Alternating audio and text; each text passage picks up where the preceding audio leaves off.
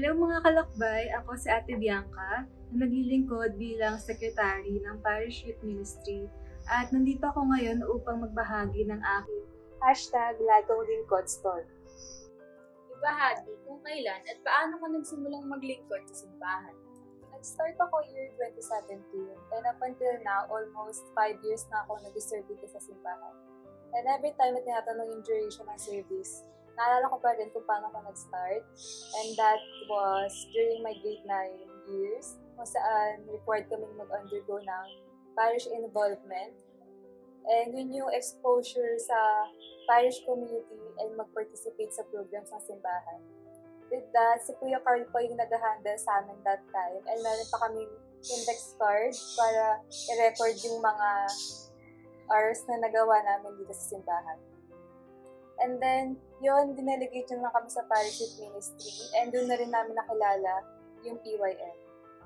Tapos, na-experience namin mag karakol during fiesta and tumulong din for Pistang Pambata. To cut the long story short, before I would even dare na dayain yung record namin kasi gusto ko lang taga matapos. Pero weeks after namin accomplish yung required hours, parang may nahanap ako and may gusto akong balikan. Pero this time, parang gusto kong bumalik, hindi dahil required or kailangan sa school. Babalik ako kasi gusto kong ipagpatuloy yung experience ng genuine na service. Kaya doon na nag-start yung journey ko sa pagsusunod. Ano yung mga pagsubok na pinagdaanan mo sa paglilingkod? Before, yung ginagawa ko lang naman is gigising ako para mag-prepare for school and then pag-uwi, gagawa ng homework. Doon lang usually umiikot yung routine ko bilang student and isang anak. Pero after ko mag-decide to continue yung service ko sa simbahan, siguro doon ko na kailangan ng adjustments, especially sa time management. Kasi mahirap ipagsabay yung pag-aaral and service. Pero as much as possible, gusto ko kasi na balance pa din. And magawa ko pa rin yung responsibilities ko, both sides. So habang nasa adjusting period pa lang ako, na dumating na rin yung bagong challenge sa akin, yun na yung time na may tumawag sa akin sa phone and then yun na pala yung start na appointment sa akin bilang part ng core group as secretary ng youth that time naman siguro pinaka-struggle ko na is yung transition from member to officer. Kasi personally, alam ko hindi enough yung hindi ako capable maging servant leader kasi kulang pa talaga ako sa experience. And hindi ko maiwasang mag-doubt sa sarili ko kung ba't ako in-appoint. Especially nakikita mo yung growth ng ibang leaders sa, sa youth ministry hindi mo maiwasan mag-reflect kung bakit bakit ka nilagay sa pwesto na yun. So, yun yung mga struggles ko nung starting pa lang ako. Pero siguro ngayon, mas madalas na makaramdam ng pagod.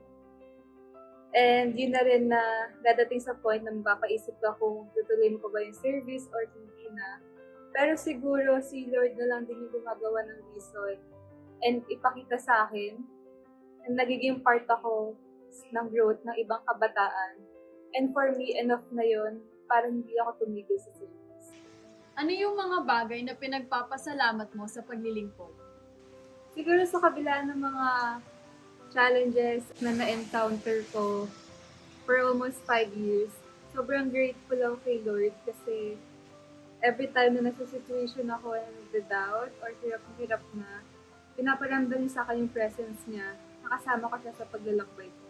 At the same time, thankful ako sa mga taong kasama at tumulong sa akin para mag-grow and mag-step out sa comfort zone na from Bianca na pangiti lang at sobrang mahihain tuwing may activities sa PYM to Bianca na mas willing ng mag-take ng risk and responsibilities at tumayo bilang isang youth leader.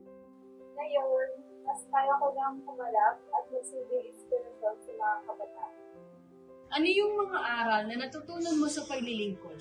Sa lahat ng experiences ko sa service, yung aral na pinaka gusto ko i-share sa kapwa ko kabataan is huwag matakot mag-say yes kay Lord and submission kahit na madami tayong doubts or feeling natin hindi natin kaya. Kasi after all, kasama naman natin si Lord sa paglalakbay. And even in the most difficult times that we feel hopeless, God will never abandon us. Ngayon, patuloy pa rin ako naglilingkod sa Parish Youth Ministry at patuloy na nakikilakbay sa mga kapwa ko kabataan habang nagdarasal, nagabayan ako ni Lord sa mga plano niya sa akin. With that, may God